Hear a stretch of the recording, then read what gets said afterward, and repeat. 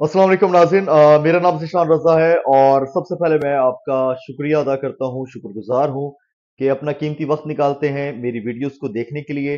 नाजिन कल तहरीक लब्बैक जंग में पावर शो करने जा रही है, सियासी क़ुव्वत का मुजाहरा करेगी और कल हाफ़िज़ साद हुसैन रिज़वी जो हैं, वो जलसे से खिताब करेंगे, जलसा हमसे खिताब होगा।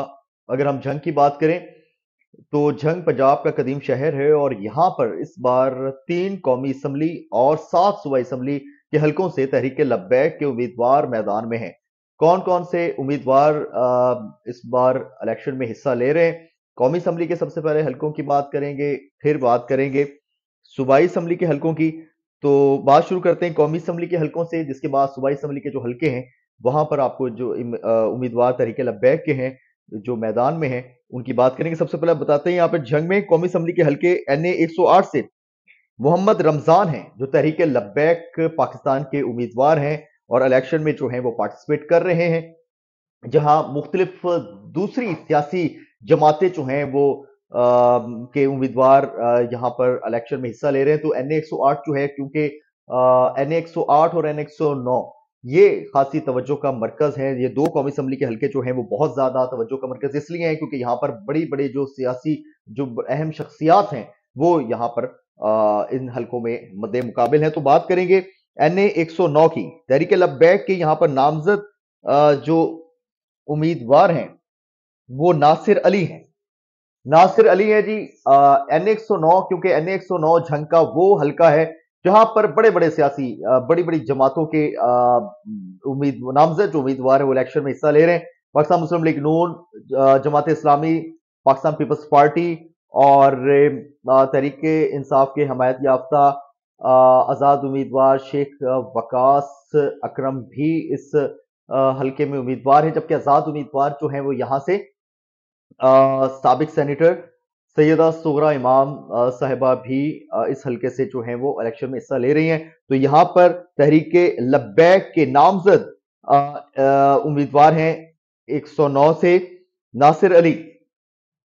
तो और यहाँ पर पाकिस्तान मिली मुस्लिम लीग के जो यहाँ पर उम्मीदवार हैं वो मोहम्मद मनशा हैं।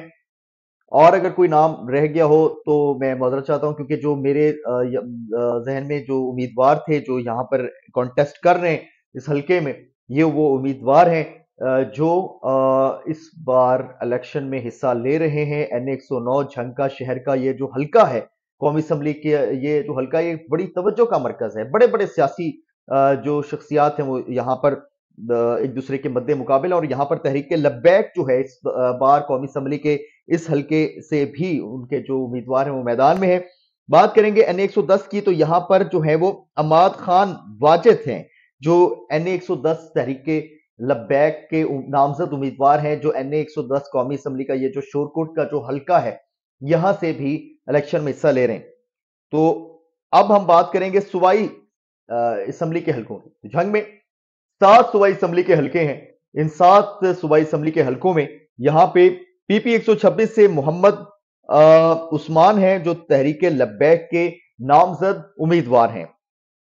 ये पहले भी तहरीक लब्बैक की तरफ़ से ही इलेक्शन में पार्टिसिपेट कर चुके हैं।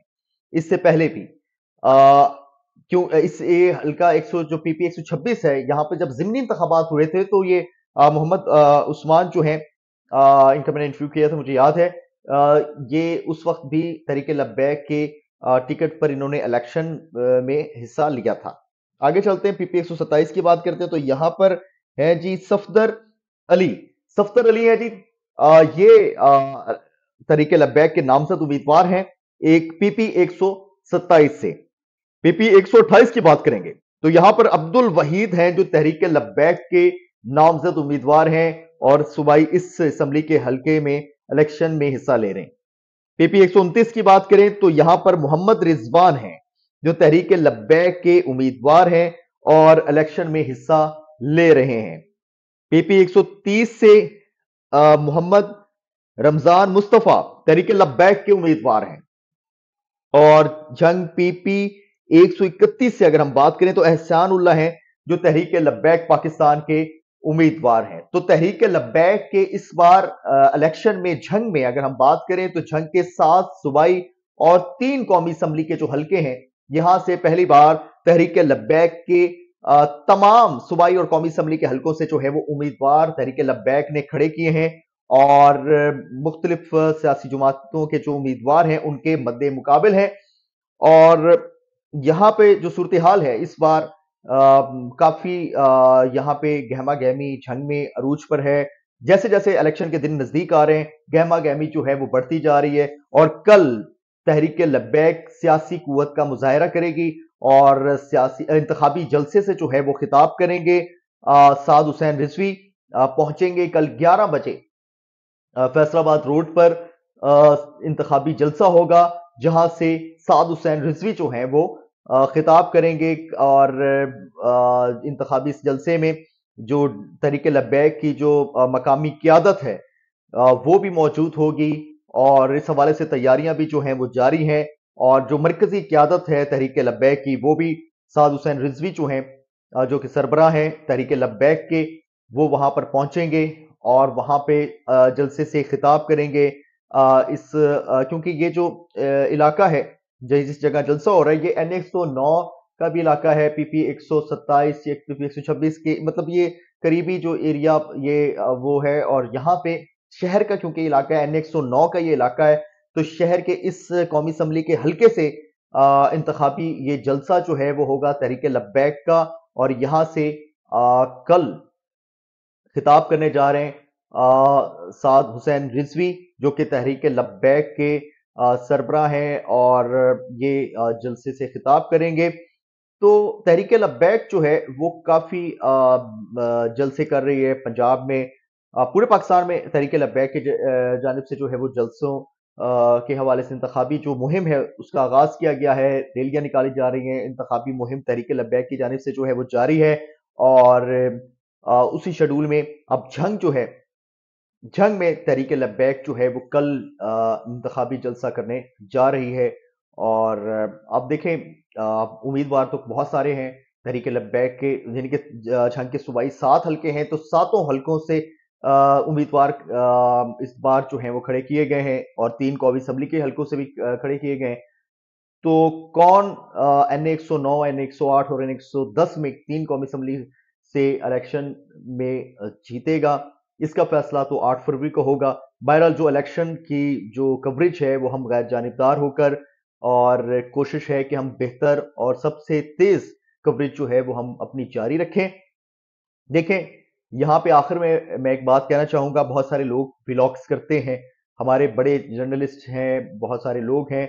इस यहाँ मैं एक बात करूँगा, मुझे 15 इयर्स हो गए 15 साल हो गए मुझे सहाफत में जर्नलिज्म में। मुख्तलिफ़ बड़े बड़े चैनल्स में काम किया और अभी भी एक बड़े चैनल को पे मैं काम करता हूँ, चैनल में एज अ रिपोर्टर काम करता हूँ। तो मैंने बड़े इलेक्शंस को कवर किया। सोशल मीडिया उस वक्त नहीं था, बाद में सोशल मीडिया आया। अब हम भी सोशल मीडिया पे आ चुके हैं। तो मैंने यहाँ देखा कि बहुत सारे वो लोग जिनको जर्नलिज्म का नहीं पता, जब वो बैठ के ब्लॉग करते हैं तो वो बातों को हम जब बात करते हैं, हम बड़ी सोच समझ कर बात करते हैं। कोई ऐसी बात नहीं करते जिससे किसी की दिल आजारी हो या कोई फेक न्यूज़ हम आपके साथ शेयर कर दें। पूरी कोशिश होती है कि हम जो आपके साथ खबर शेयर करें, वो सही खबर।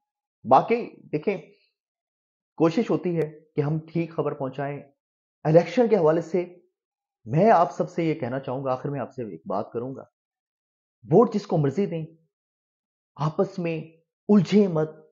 कोशिश करें, यार हम सब पाकिस्तानी हैं, हम सब यहाँ मिलके, ये हम, पाकिस्तान हमारा घर है। हम सबने एक साथ उठना है, बैठना है एक दूसरे के दुख, गम में हम खुशी में शरीक होते हैं। अलेक्स वोट जिसको मर्ज़ी दें, एक दूसरे को गाली गलोच मत दें। इस तरह की चीज़ें से इतना एक दूसरे से झगड़े मत करें। झगड़ा मत करें। लड़ाई मत करें। हमारा पाकिस्तान, हमारा मुल्क है, हमारा घर है, हमने सबने मिलकर रहना है। तो ये आखिर में एक छोटा सा मैसेज में आपके साथ जो है मैं पैगाम आपको देना चाहता था। तो बहरहाल इलेक्शन 2024 आइंदा इंतबात के हवाले से लेटेस्ट न्यूज़ जो भी होंगी, मुल्क भर की अहम खबरें जो होंगी, वो इंशाल्लाह हम इसी तरह से आपको आगाह करते रहेंगे। और आखिर में जो है वो गुजारिश करता हूँ कि चैनल को लाजमी सब्सक्राइब करें, ताकि जो खबरों का यह सिलसिला है, वो हम आपके साथ जारी रख सकें। मुझे इजाज़त दें। बहुत शुक्रिया। अल्लाह हाफिज। पाकिस्तान, जिंदाबाद।